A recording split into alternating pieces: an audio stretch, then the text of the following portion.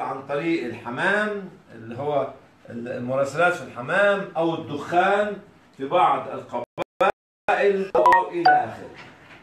حتى المواصلات وت- و- وتطورت أيضا من إنسان كان بيمشي على قدميه إلى أن بدأ يستعمل الدواب إلى أن استعملنا القطارات والسفن والعربات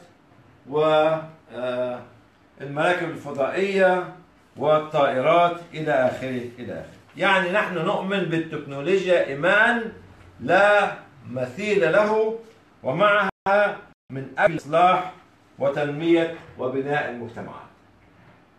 إيه هو الضرر اللي ممكن تسببه لنا التكنولوجيا؟ الضرر يقع ممن يتحكمون في صناعة التكنولوجيا. الضرر يقع ممن يتحكمون في صناعة التكنولوجيا. ويحاولون التحكم في مقدرات الشعوب والأجيال عبر الأزمان. التحكم هذا هو الخطر. التكنولوجيا نفسها ليست خطر. من أجل ماذا؟ من أجل كسب مادي سريع وفرض سياسة مجتمعية جديدة على المجتمع ثم تقسيم الشعوب واثاره الصراعات والنزاعات ونشر ثقافات جديدة لمحاربة الأديان السماوية وغيرها من أسباب عديدة أقولها مرة ثانية الضرر الذي يقع ليس من التكنولوجيا نفسها لكن ممن يتحكم فيها ويحاول التحكم في مقدرات الشعوب والأجيال من أجل كسب مادي من أجل فرض سياسة مجتمعية جديدة على المجتمع من أجل تقسيم الشعوب وأثارة الصراعات والنزاعات ومن أجل نشر ثقافات جديدة لمحاربة القيم والأديان السماوية. ده الخطر أما التكنولوجيا بالنسبة لنا بالعكس هي فريضة وفرديه أضرار عبادة التكنولوجيا. إيه هي أضرارها؟ إن الإنسان بيفقد القدرة على التركيز. بيبقى مشتت. ها؟ خاصة التركيز إيه؟ في مجريات الأحداث حولنا الدنيا بتتغير وأنا قاعد حابس نفسي في غرفة ضلمة ساعة واثنين وخمسة وعشرة ما بنامش بالليل النقطة الثانية تصبح إن هذه الوسائل التكنولوجيا بديلا لنا عن الحياة الطبيعية. ها؟ اللي بزور فيها أهلي وقرايبي وأصدقائي إلى آخره. وإننا نستطيع أن نتغير مع سرعة معدلات التغيير بتاعها. يعني التقنية بتشتغل بتتغير كل يوم بسرعة تع- تعدل آه، سرعة استيعابنا ليها. الأمر الثاني نتحول إلى مجتمع من مجتمعات تحولنا التكنولوجيا أو التواصل وسائل التواصل الاجتماعي من مجتمعات إلى أفراد يعيشون في أفق السحب التي ترسمها لنا التكنولوجيا. يعني تجعلنا إننا نخرج من المجتمع ونعيش كده في فقاعة هوائية. ها؟ في السحب اللي إحنا بنتكلم فيها. بتنمو عندنا سياسة التبعية معتمدين على إيه؟ على عليها 100% الاعتماد الاعتماد عليها تخرج منها آراء عجيبة جديدة وغريبة وأشخاص إحنا بنسميهم الرويبضات لم نكن نألفهم من قبل عشان يصبحوا الآن هم قادة مجتمعيين ومصلحين دينيين. قادة مجتمعيين لم نعرف عنهم أي شيء من قبل ومصلح ديني لا نعرف من أين أتى بهذا الدين الجديد. تظهر معانا لغات تواصل إلكترونية جديدة وحديثه بتؤثر على اللغات الأديان السماوية المتعارف عليها. تغيير القيم والأخلاقيات والثقافات المتعارف عليها وكذلك ارتفاع معدلات الجريمة والقرصنة التكنولوجيه دي كلها حاصلة أمامنا كأضرار لكن ده مش معناه إن إحنا ما بنؤمنش بالتكنولوجيا. إحنا ضد من يستعمل التكنولوجيا الاستعمال الإجرامي. الاستعمال الذي يقسم الشعوب والمجتمعات الاستعمال الذي يحدث الصراعات والنزاعات الاستعمال الذي يبتز أموال الشعوب والمجتمعات. ده اللي إحنا بنتكلم عنه. كيف لا نصبح عبيدا للتكنولوجيا؟ في كذا خطوة من الخطوات ممكن نتبعها ودي تبقى زي ما بالنسبة لنا إيه؟ جايد لاين أول حاجة نق- نقف استعمالها يوم أو أسبوع أو شهر في السنة. نتعود على إننا نعيش ساعة أو ساعتين كل يوم بعيد عن أي أدوات تكنولوجية تكنولوجية خاصة اللي هم أدوات التواصل الاجتماعي. يكون لنا ساعة للتأمل. نشوف الدنيا اللي حوالينا فيها إيه. الشمس والقمر والنجوم والبحار والأنهار والهواء والحيوانات والبشر شكلهم إيه دول؟ تأمل. تأمل. مش مجرد النظر إليها. العبادة بتاعتنا. لأن التامل العبادة. العبادة اليومية بتاعتنا. هل إحنا بنعبد الله حق عبادته أم لا؟ بعد كده هو يكون لنا حصة القراءه قراءة تقليدية. إن أنا عندي كتاب أو موسوعة بتصفحها وأقرأ فيها التاريخ أقرأ فيها الأدبيات أقرأ فيها ثقافات مختلفة أقرأ فيها كل شيء اللي هي الطريقة التقليدية في القراءة. وكذلك الكتابة. أعرف يعني كثير جدا من الشباب وللاسف خريج الجامعات لا يعرفون أن يتكلموا أو يكتبوا اللغة العربية أو يتكلموا ويكتبوا حتى اللغة الإنجليزية. فطلعين لغة جديدة اسمها لغة مش عارف إيه وما تتقري وتعمل. أسوأ من اللغة الهيروغليفية. اللغة الهيروغليفية جت الحملة الفرنسية من حسناتها إنها في حجر رشيد اكتشفت رموز واصول اللغة الهيروغليفية. أما الولاد اللي طالعين دول لا بيعرفوا يتكلموا عربي ولا بيعرفوا للأسف يتكلموا إنجليزي من النكت الكثيره اللي بعرفها. هأوفر لها وهأوفر له. يعني إيه أوفر لها؟ تقعد عليها؟ يقول لك الأخ ده أوفر قوي. يعني أوفر رايح فين يعني؟ أوفر يعني فوق. أنت أوفرتني ليه؟ قاعد عليا يعني؟ حتى مش فاهمين اللغة. الخيبة خارجين من الجامعات ومعاهم دراسات وكذا وما يعرفوش لغة. يكتبوها أو يقروها. إنك تجلس مع أهلك مع زوجتك مع أولادك مع أبنائك مع مع اخواتك ها؟ مع مع اصدقائك تقعد معاهم كده تتكلم تتناقش زي بشر. كل يوم مع الأهل والأولاد ومرة في الأسبوع مع الأقارب بعد كده مع الأقارب والأصدقاء إلى آخره. نحترم مواعيد النوم. يعني مفيش حد يقعد قدام السوشيال ميديا لغاية الساعة 3 4 الصبح. ليه؟ عشان إيه؟ إيه اللي حاصل يعني؟ إيه الموضوع؟ لا هو جهاد في سبيل الله مرابطة ولا هو وظيفة ولا أي شيء. يقعدوا يتكلموا كده مع بعض. ضاع اليوم ولما بيضيع اليوم اليوم ده جزء من الحياة. لما بتضيع الحياة بتبقى بنبقى أمام الله سبحانه وتعالى آآ آآ أيامنا فارغة. وربنا سبحانه وتعالى وجعلنا الليل لباسا وجعلنا النهار معاشا وطبعا الشيء الطبيعي في إننا نستيقظ بدري. عشان نبدأ حياتنا وعملنا ويومنا من أول النهار. نزور المقابر. ليه بنزور المقابر؟ عشان ده ده هو المكان الحتمي اللي كلنا هنزوره وهنعيش فيه مش خمسين سنة أو ستين سنة أو مئة سنة. قد نعيش في داخل هذا القبر آلاف السنين. إلى أن يرث الله سبحانه وتعالى الأرض ومن عليها. ففي زيارة القبور ها فيها موعظة وفيها يعني نقاء للصدور. تذكرنا بما فعلنا وما سنقول إليه. زيارة الآثار والتفكر في كيفية صناعة أما أروح أزور الآثار زي ما موجودة هنا في مصر ولا في الأردن ولا ولا في أمريكا اللاتينية ولا في سوريا ولا في اليمن ولا في العراق إلى آخره. أرى كيف صنع هؤلاء العظام من الشعوب والمجتمعات مثل هذه الحضارات الخالدة.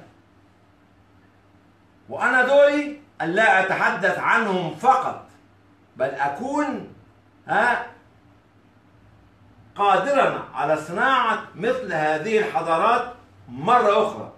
وامتداد هذه الحضارات مرة أخرى. حضارات دي نشوفها. كيف صنع كيف صنعها القدماء المصريين؟ كيف صنعها الفينيقيين والآشوريين والكسامين إلى آخره؟ في كل مكان. حضارة الإنكا حضارات فلسطين العظيمة كل هذه الأشياء زيارتها. الأسواق التقليدية القديمة. سوق زي سوق الثلاث وسوق الجمعة وسوق السبت وسوق الحد وسوق الحمير وسوق البقر وسوق الغنم وسوق الغلة ها؟ كل هذه الأشياء. وسوق اللي هو المواد الايه القديمة اللي إحنا بنعملها مستعملة. كذلك كل هذه اشوفها عشان ده جزء مهم جدا المجتمع لابد أن نتعامل معه.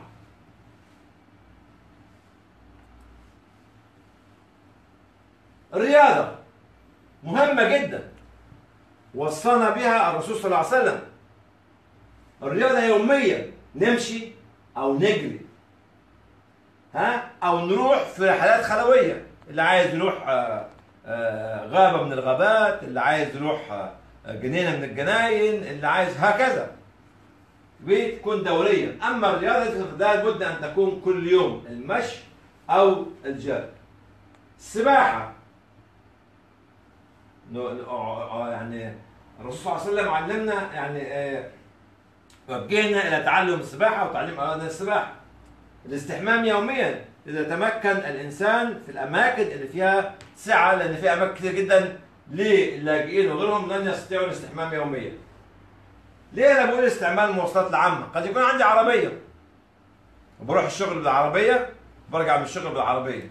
ها؟ فأنا قاعد لوحدي بكلم نفسي. لكن لما أركب أتوبيس أو مركب ميكروباص أو مركب أي شيء فبتعامل مع الناس. بستمع لبعض المشاكل بشوف الشخص ده بيعمل إيه. يعني إيه بحتك الاحتكاك نفسه بالناس ده بيثق بيثقل شخصيتي. فبيجعلني أتعلم أشياء لما أتعلمها من قبل. بعد كده؟ الأعمال التطوعية اللي هي أهم شيء في بناء المجتمع وأهم شيء في غرس روح الوطنية في المجتمعات. وعدم الانعزال عن المجتمع. لأن لأن السوشيال ميديا والتكنولوجيا بتاخدني في غرفة مغلقة. أنا عايز أخرج من الغرفه المغلقة دي وأذهب إلى أن أتطوع. أقعد مع الأطفال أقعد مع اللاجئين أقعد مع النازحين أقعد مع الفقراء أقعد مع المرضى أقعد مع المشردين إلى آخره لكي أحاول أن أجد حلا لمشاكلهم أو على الأقل أستشعر الحاجة الملحة التي يعانون منها. عمل تطوعي. أن يكون لنا هدف. ما ينفعش واحد عايش في الدنيا دي ابدا. ابدا. ابدا. من غير ما يكون له هدف. حتى الحمار ليه هدف في الدنيا. حتى الجاموسة والبقرة والكلب والقطة ليهم هدف. ربنا حطه في قلبهم. وربنا سبحانه وتعالى جعل منا المستخلفين على الأرض. قال إني جاعل في الأرض خليفة. صح؟ خليفة يعني هو سيد الإيه؟ الخلائق اللي هم ال- ال- البشر نفسهم. ما ينفعش حد أي حد كان مسلم أو غير مسلم أو وثني أو أو إلى آخره إلا لما يكون له أو لها هدفا من أجله يعيش لإنماء الحياة. أن يكون لنا هدف نعيش من أجله من أجله ونحاول تحقيقه والاشتراك. الأمر الثاني أننا نشترك في نقاشات حية ومؤثرة. يعني لما نخرج في وسط الناس ونتكلم معاهم يبقى في نقاش.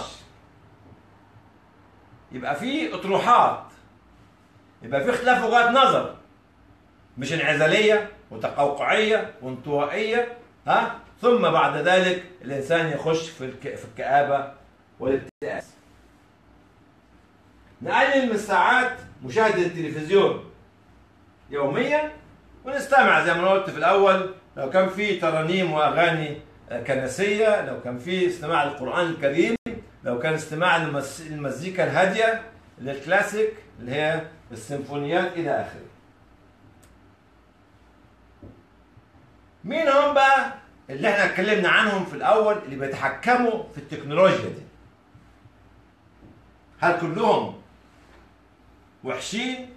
هل كلهم أعداء؟ أم أم إلى آخره؟ أولهم في منهم المخلص ومنهم ما دون ذلك. منهم المخلص ومنهم ما دون ذلك زي ما إحنا شايفين في السؤال. أما المخلص والمبدعون من الشباب من أمثالكم. ناس مخها منور تستطيع أن تحدث تغيير مجتمعي. ملموس. ومؤثر وإيجابي وإنمائي. ها؟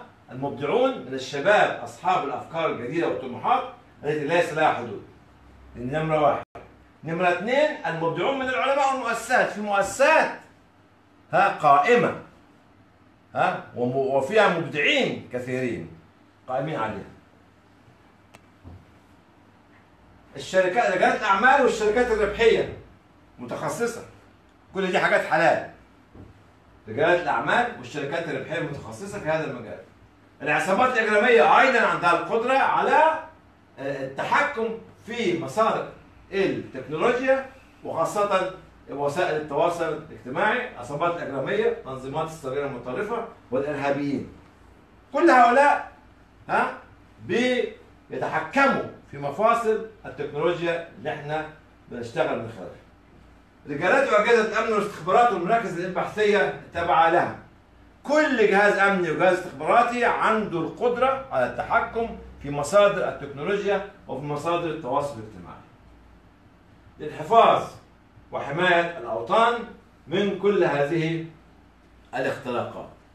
المؤسسات الإعلامية والتسويقية الرسمية. كل هؤلاء الناس هم اللي بيتحكموا في مسارات صناعة التكنولوجيا وغيرهم طبعا. هذا ليس قرآن وغيرهم وغيرهم وغيرهم إما سلبا أو إيجابا.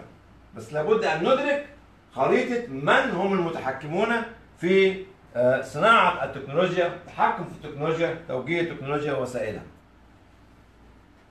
أنا سؤالي الكبير دلوقتي وقربنا نخلص إذا لم نستطع صناعة التكنولوجيا فعلينا إعادة تدويرها بما يصلح ها بما يصلح بما يصلح المجتمعات والشعوب.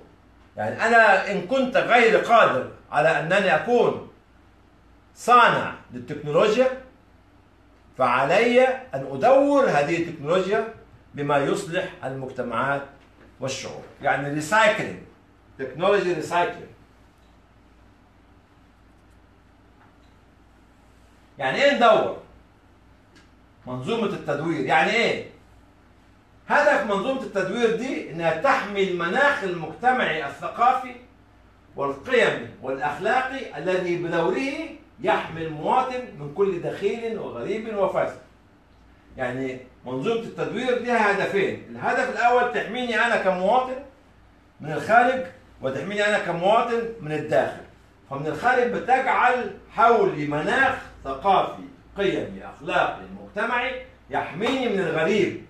والمستهجن والدخيل والفاسد ومن الداخل بتقوي المناعة بتاعتي أنا كمواطن تقوية المناعة المجتمعية للمجتمع من الداخل من خلال بناء أنسجتها الداخلية القائمة على أسس أخلاقيات وثقافات وقيم وعقائد المجتمعات. يعني منظومة التدوير دي من الخارج هتعمل مناخ حولي لكي تحمي المجتمع ومن الداخل هتقوي العقد المجتمعية ال- من خلال ها ال ال ال بناء الأنسجة القائمة على أسس وأخلاقيات وثقافات وقيم وعقائد المجتمعات. كيف نعيد تدوير التكنولوجيا بقى مرة ثانية؟ لابد علينا إن إحنا نعلم أصولها للمجتمعات خاصة المجتمعات الفقيرة والمهمشة. ونجعلها مادة أساسية في التدريس. يعني إحنا قلنا قبل كده إن التطوع لابد أن يكون مادة أساسية في التدريس. وبنشكر بعض الدول العربية زي حديثا أمير الكويت سمح بأن هو تصبح مادة التطوع جزء من المنهج الدراسي. قبل كده حكومة قطر عملت الموضوع. قبل كده إلى آخره اللي هم عايزين يعملوا. وطبعا هنا الموضوع التطوع في الغرب ده معروف من الدين بالضرورة. المعلوم إيه؟ كان معلوم من الدين بالضرورة. من ابتدائي لإعدادي الثانوي الجامعة اللي فيما بعد فإحنا آه، آه، تعليم التكنولوجيا واصولها للمجتمعات الفقيرة تصبح ماده أساسية في المدارس لاهميتها. هنا مهم جدا ضع وضع ضوابط وأخلاقيات لاستخدام التكنولوجيا. حتى الإعلام اللي موجود عندنا مالوش نقابة تدافع عن أخلاقياته فكلما كذب الكاذبون ونافق المنافقون ودلس المدلسون لا. لا يحاسبهم أحد على الإطلاق. يعني مفيش نقابات مفيش ضوابط مفيش أخلاقيات تشجيع الشباب على التخصص في صناعة التكنولوجيا. تخصص في صناعة التكنولوجيا. وجعلها أصلا من أصول الحياة المجتمعية. أصبحت محور حياتي دلوقتي. محور أصبحت محور مجتمعي في مفاصل تتشابك في كل مفاصل الحياة. أن نبني شبكات ومنتديات تدافع عن مجتمعاتها من خلال بناء منظومة التطوير. إن لم نستطع أن نصنع التكنولوجيا فعلينا إعادة تدويرها والاستفادة منها من كافة أبناء المجتمع. يبقى أختم وأقول نحن نؤمن بالتقدم العلمي نؤمن بصناعة التكنولوجيا نؤمن بصناعة التواصل الاجتماعي لكن لا نؤمن بأن نصبح عبيدا لمثل هذه الآليات يتحكم فينا من لا نعرفهم من الأبواب الخلفية للمجتمعات والدول إلى آخره. فيحدث الانقسامات المجتمعية والصراعات والنزاعات بين الدول والشعوب والمجتمعات. شكرا. وغدا إن شاء الله ستقام هذه إعادة هذه الحلقة باللغة الإنجليزية الساعة السادسة tomorrow إن شاء الله we'll talk about this uh, technology and social media at 6 o'clock UK time 9 o'clock uh, Mecca time uh, in English language see you tomorrow إن شاء الله ها في بناء المجتمع المندمج المجتمع المندمج المجتمع المندمج. فنسير فيه سويا من مرحلة الصدمة إلى المسلمات إلى بناء الوعي المجتمعي. صدمة مسلمات وعي مجتمعي ثم في بعدها اللي هو المجتمع المندمج. لقد رأيت أنا وأنتوا لو إحنا لو أنتوا تابعتوا الكلام معايا من أسبوعين أيضا آه من أسبوعين لقد رأينا أطوار بناء هذه المسيرة المجتمعية. داخل فين؟ داخل أغوار النفس البشرية وأغوار وداخل المسارات المجتمعية ومركباتها المعقدة والقادرة على إدارة شفناها دي شفناها في في في في الجزء الأول وشفناها في الجزء الثاني. ومن ثم انتقلنا لمرحلة الاندماج المجتمعي. اللي بنتكلم عنه النهارده. لابد أن نجعل المجتمع مندمج مرة أخرى لأن اللي بيحصل ما بين الفصائل بنسميها فصائل دلوقتي ده فكر استعماري حقير. يجعل مثلا الناس اللي في المنطقة دي أعداء الناس في المنطقة دي والناس في المنطقة دي لإيه؟ لكي ينشغلوا بالحروب الداخلية فيستطيع المستعمر أو المستغل أو السارق أن يأتي ليسرق مخدرات مثل هذه. وهذا بالضبط ما يحدث حاليا في منطقة اسمها في دولة من أغنى الدول في العالم اسمها الكونغو الديمقراطية. تسرق. تسرق هي أغنى من أغنى الدول في العالم. ومن ثم ننتقل إلى البناء المجتمعي الاندماج والمتميز. إحنا مشينا المسيرة المجتمعية أغوار النفس البشرية ومسارات في الداخل وبعدين ننتقل لمرحلة البناء المجتمعي الاندماجي. اعرفوا كلمة الاندماج دي اسمه integration أو integrated integration أو integrated society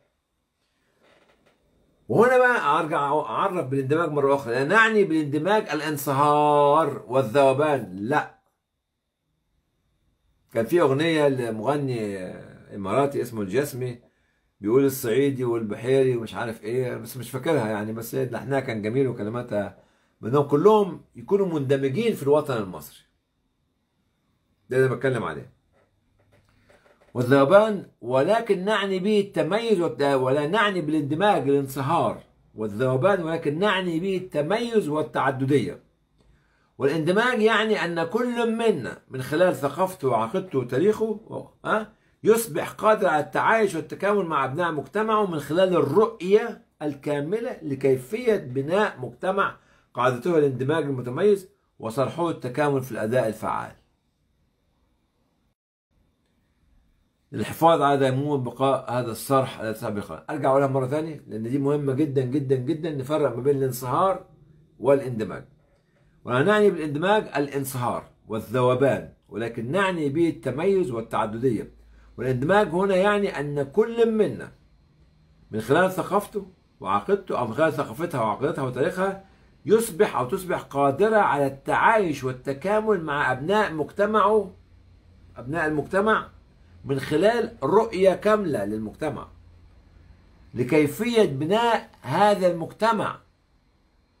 كيفية بناء هذا المجتمع؟ الرؤية كاملة كنا إحنا شايفينها. ذلك أنا اتكلمت بعد الإفاقة. آخر مرحلة في الإفاقة قبل العمل هي وضع الرؤية. في في في ال- في الصريح اللي إحنا اتكلمنا عنها قبل كده في الهرم بتاع اللي هو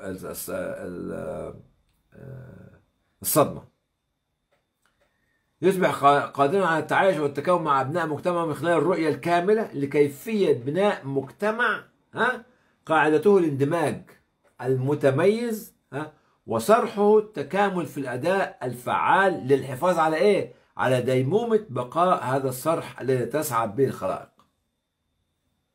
مش انصهار، مش ذوبان، لا. سوريا فيها 26 محافظة ولا 18 محافظة ولا 20 محافظة ولا السودان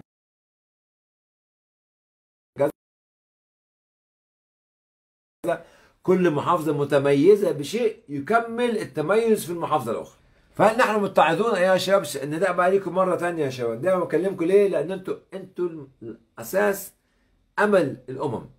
متعظون؟ فما زال في الوقت سعة ها؟ فهيا بنا نبني هذا المجتمع المندمج المتكامل المتميز الذي تسعد بداخله كافة الخلائق. وما نقول كافة قليل الغير البشرية التي خلقها الله لنا سبحانه وتعالى. الهرم الثالث هو هرم بناء الوعي المجتمعي الهرم الرابع هو الهرم المجتمع المندمج. يبقى اما نتكلم عن الفهر بتاع المحاضرة اليوم هنتكلم فيه أربعة أهرامات اللي هو هرم الصدمة هرم المسلمات المجتمعية هرم بناء الوعي المجتمعي وهرم المجتمع المندمج. وفي الآخر هنتكلم عن الخاتمة اللي هتلخص لنا الثلاث محاضرات اللي إحنا اتكلمنا فيهم قبل كده آه، معاكم.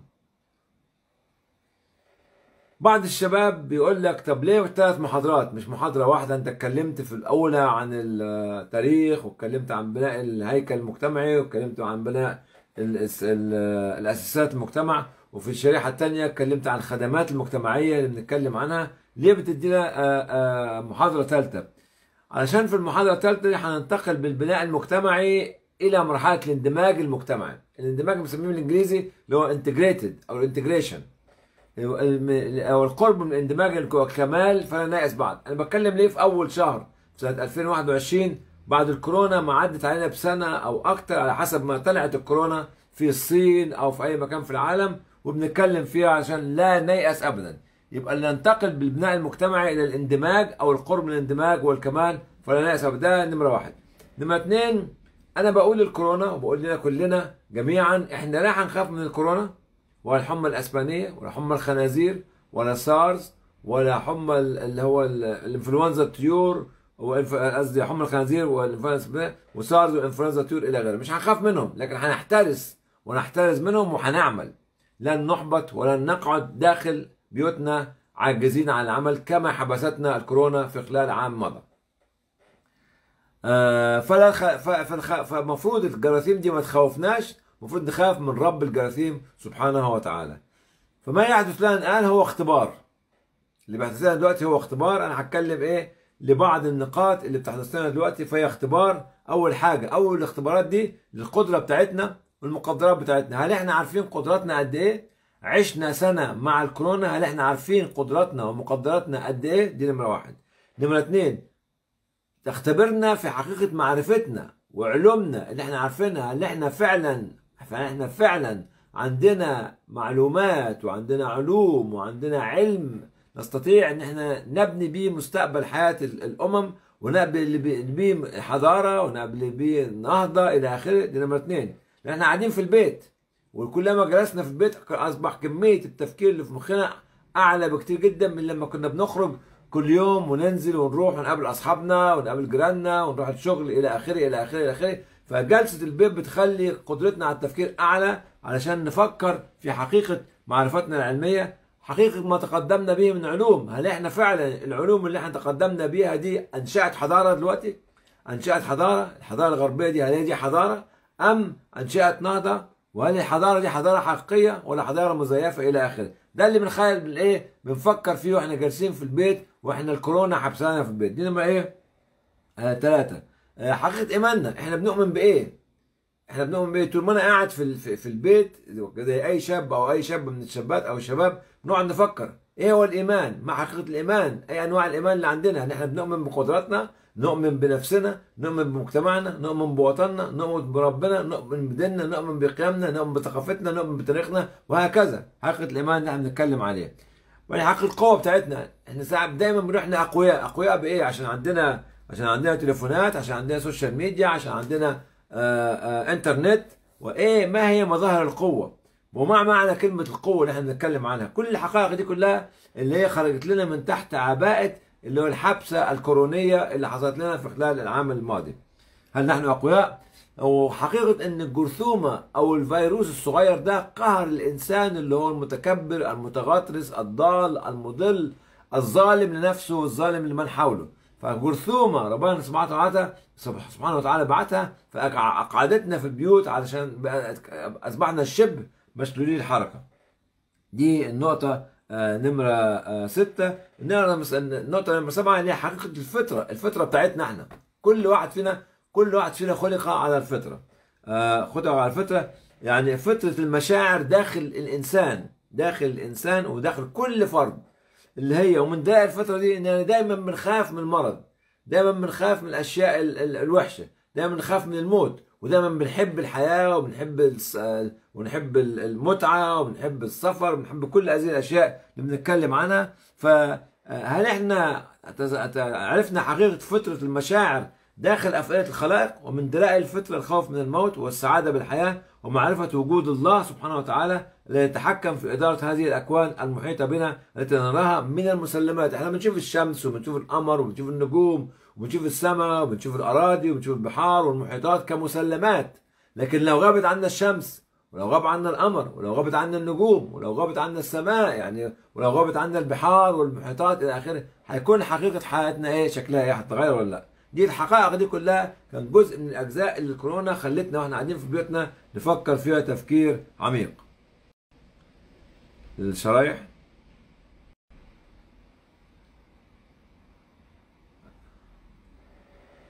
آه السؤال دلوقتي لينا هل كورونا علمتنا حقيقة هذه الحقائق اللي اتكلمت عنها؟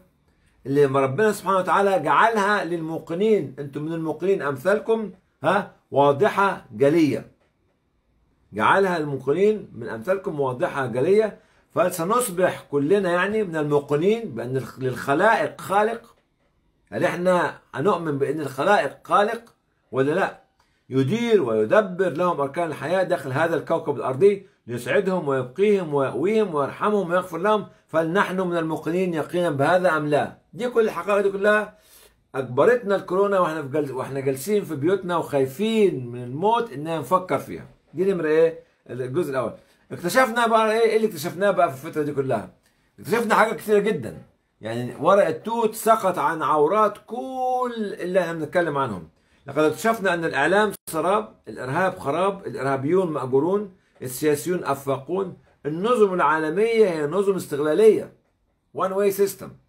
الشعارات الدولية المجتمعية هي شعارات استعمارية، كان عندنا ورشة عمل وعندنا مؤتمرات عملناها على إيه colonization أو of of aid يعني إزاي إن الناس بتستغل اللي هو الانفورماتير ايد إزاي المؤسسات الدولية الكبرى أو إزاي اللي هو الحكومات بتستغل عملت الجزء من الأيد اللي هو ال- ال- الاستعمار الإنساني. يعني حاجة اسمها الاستعمار الإنساني. واخد بالك؟ العداله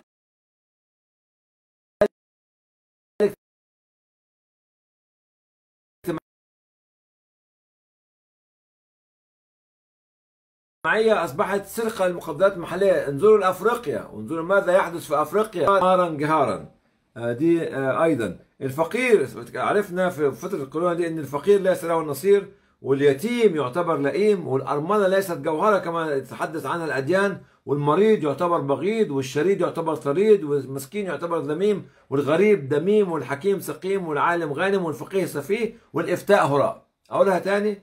لقد اكتشفنا أن الإعلام سراب الإرهاب خراب الإرهابيون مأجورون السياسيون أفقون النظم العالمية نظم استغلالية الشعارات الدولية المجتمعية شعارات استعمارية العدالة الاجتماعية سرقة للمقدرات المحلية الفقير ليس له نصير اليتيم لئيم الأرملة ليست جوهرة المريض بغيض الشريط طريد المسكين ذميم الغريب دميم الحكيم سقيم العالم غانم. الفقيه سفيه والإفتاء هراء. زي ما إحنا شفنا في كتير جدا من الدول بيطلع المفتي يتكلم كلام يضحك. يعني ما أنزل الله به من سلطان. نداء هنا للشباب. أفيقوا أيها الشباب فهذه ش... هذه إشارات وعلامات تجعلنا قادرين على استيعاب استيعاب الحياة وأركانها. ثم معرفة قدراتنا ومقدراتنا. إحنا قاعدين محبوسين. ومكان من قوانا. فهل نحن فعلا حقا أقوياء هل نحن حقا أقوياء؟ بعد ما شفنا هذه الأشياء اللي بنتكلم عنها وعلمتنا إياها الكورونا وإحنا قاعدين في بيوتنا. الشريحة. نخش في أركان المحاضرة الأربعة. أركان المحاضرة أربعة. أربع أهرام. أنا قلت هتكلم عن المحاضرة بالأهرامات الأربعة. أول هرم اللي كان على على الصفحة في الأول كان الهرم بتاع خوفو وده الهرم اللي أنتم شايفينه في الشريحة. هو هرم سقارة اللي موجود. والأربع أهرامات في هرم اسمه هرم الصدمة اللي هو من تحت لفوق وفي هرم قيمة المسلمات المجتمعية ثم هرم بناء الوعي المجتمعي ثم هرم المجتمع المندمج. يبقى بنبدأ بهرم الصدمة وبعدين نرتفع لهرم قيمة المسلمات المجتمعية وبعدين نرتقل إلى هرم بناء الوعي المجتمعي ثم نرتقل إلى هرم المجتمع المندمج معنا أيضا. أول هرم هرم الصدمه إحنا اتكلمنا عن إن كورونا كورونا لغايه دلوقتي أصابت 95 مليون إنسان في العالم. 95 مليون إنسان أصيبوا بالكورونا في العالم. 52 مليون شفيوا الحمد لله. يعني أكثر من 54% شفيوا. و2 مليون ماتوا. يعني حوالي 2.5% ماتوا. والباقي لسه بيتعالج هنا وهناك. فمعناها إن الكورونا مش مش مش نكتة. حتى ولو كان في نظرية للمؤامرة أو نظرية أخرى فإحنا لابد نتعامل مع تعامل واقعي من خلال الأرقام. بالك؟ هرم الصدمة معناه هو إيه؟ بيتكون من إيه هرم الصدمة؟ هرم الصدمة ده بيمثل لنا إن واحد حصلت له صدمة وأفاق من الصدمة وبدأ إيه؟ ينظر في